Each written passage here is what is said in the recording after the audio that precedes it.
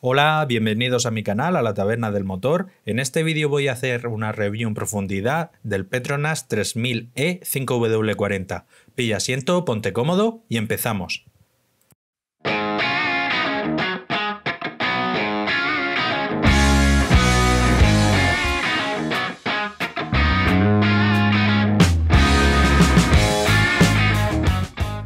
Hasta hace unos años Petronas era un fabricante relativamente poco conocido aquí en España y fue cuando empezó a patrocinar el equipo de Mercedes de Fórmula 1 cuando llegó al mercado español.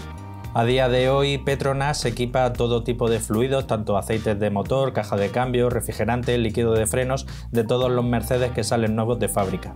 En el catálogo de productos de Petronas, en el apartado de aceites de motor, encontramos la serie 1000, la serie 3000, la serie 5000 y la serie 7000.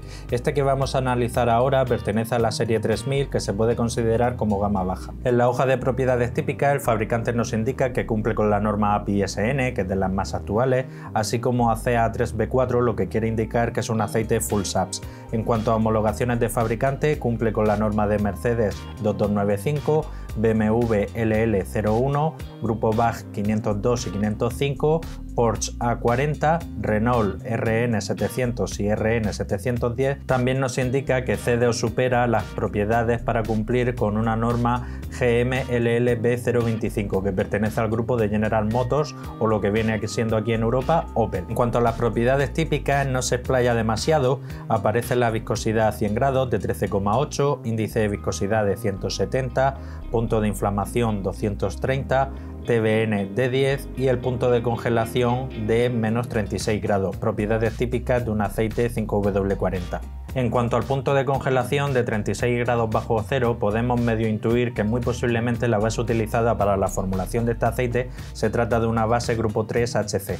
Pasamos a la hoja MSDS y nos indica un K64742-54-7 que se trata de una base HC. En este caso indica que lleva una concentración entre un 40 y un 50%.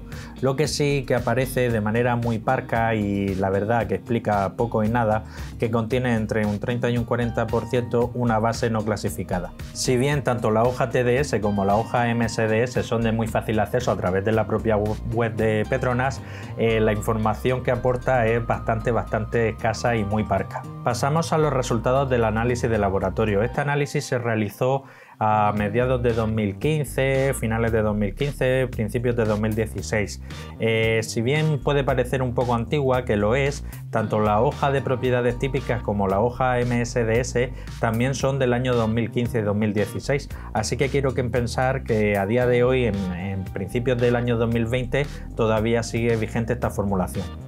La viscosidad a 40 grados indica 86,32, la viscosidad a 100 grados 14,23. Pasa justo al contrario que pasaba, por ejemplo, con el Motul XCS 5W40, que indicaba una viscosidad superior y daba en realidad una viscosidad inferior. En este caso, la hoja de propiedades típicas indica que tiene una viscosidad de 13,8, en los análisis da como un resultado 14,23, un poquito más viscoso.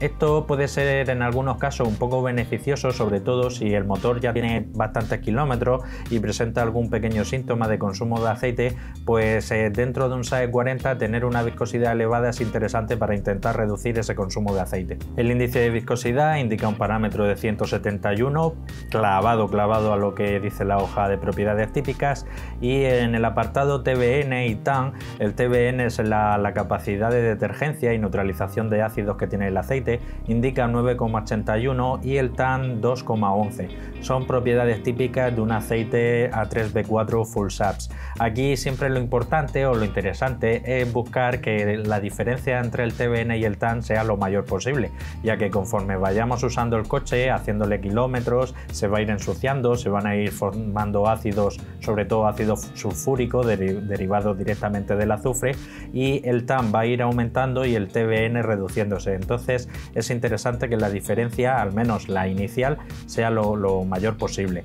En cuanto al parámetro de cenizas, indica 1,14, valores típicos de una CA3B4 que es un full SAPS.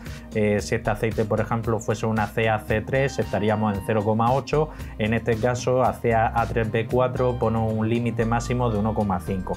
El punto de congelación, 38 grados bajo cero. El fabricante indica 36 grados bajo cero. Estamos muy, muy, muy próximo y el punto de inflamación de 236, el fabricante indica 230, pues prácticamente se ha clavado todo a la información que nos arroja la propia Petronas. Se ha realizado la prueba de bombeo a 30 grados bajo cero, aporta una puntuación de 6130 que si nos vamos a la tabla SAE J300 y comprobamos, pues innegablemente estamos delante de un aceite 5W. La propia SAE J300 impone un límite de hasta 6600. El porcentaje de evaporación NOAC eh, mide la evaporación que sufre el aceite cuando está caliente, indica un porcentaje de 9,5. No es muy alto, tampoco es de los más bajos. Eh, aceites muy premium están en torno a 6, 7, 7,5. Aceites ya más normales, 8, 9, 10, 11 y ya aceites peorcicos estamos en torno a 12, 13, 14, 15. Cuanto más baja sea la evaporación NOAC, eh, menos propenso es el aceite a formar lodos y barnices y sobre todo a que baje el nivel de la varilla de aceite. Muchas veces que tenemos un pequeño consumo que baja el nivel, pensamos que es porque lo consume a través de los segmentos, por algún retén o alguna fuga y nunca pensamos que puede ser debido a la propia evaporación NOAC. La concentración de azufre 0,281 es un buen dato, también no es el más bajo que hemos visto, pero incluso por ejemplo ACAC3 en los mid subs impone un límite de 0,3, este siendo una CA A3B4 que esté por debajo de 3, pues la verdad es una buena puntuación. Pasamos al apartado de la concentración de aditivos, en este caso molibdeno nos ha utilizado, indica 0, fósforo y zinc 937 y 1066, parámetros eh, relativamente normales eh, dentro de un aceite A3B4. En aceites ACAC3 suele ser un poco inferior, en este caso entra dentro de la media, nada que destacar. Vario no lleva, boro sí lleva, 93 ppm. Este boro lo que va a hacer es de dispersante, sin cenizas, también ayuda un poco a la oxidación del aceite.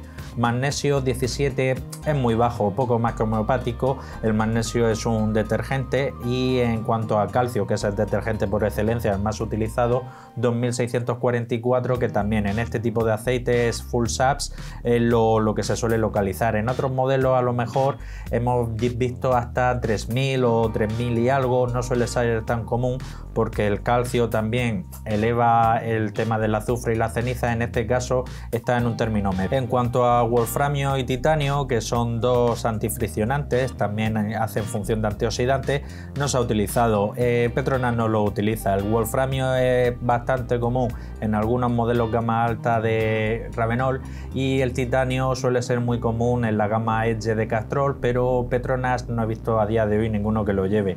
El parámetro de oxidación indica 11, eh, señal directa o indirecta de que este aceite no contiene ningún tipo de... Pasamos a la hoja FTIR y aquí vemos que la cresta de 1750 está abajo, eh, ya teníamos indicio en el parámetro de oxidación de tan solo 11 que este aceite no contiene éster y la cresta de 722 está prácticamente a la par de la línea de 1, esto indudablemente quiere decir que estamos delante de un aceite HC grupo 3. Bien, pues llegamos al apartado de las conclusiones finales. ¿Qué me parece este aceite? Pues es un aceite sencillico, la verdad. Eh, una base HC sencillica, mm, no destaca especialmente en nada, tampoco tiene ninguna carencia, paquete de aditivos normalito. Eh, si cierras los ojos y comparas un poco lo que son los resultados del análisis de laboratorio, salvo por la viscosidad 100 grados, prácticamente es igual que lo que es el Motul XC 5W40. La hoja FTIR también prácticamente las crestas son, son iguales y muy similar, muy similar a, otro 5W40 como es el Motul que comento y prácticamente cualquier otro 5W40 3B4 que veamos en este rango de precio. Que eso es otra, ¿qué precio tiene este aceite? Pues donde más barato lo he encontrado es en Óscaro, en la página web que es francesa, sí, pero vamos, hace envío a España y prácticamente a toda Europa, en 22-23 euros. Mm, me parece un precio estupendo, la verdad. Mm, por un aceite de este tipo, base HC, así sencillico, cumple bastantes normas así conocidas, no tantas normas como la versión de, de Motul, que es el XC5W40, que es el homólogo, pero bien, muy correcto para presupuestos ajustados, para vehículos que no lleven sistema de tratamiento de gases DPF FAT, tanto gasolina como diésel pues eh, muy acertado.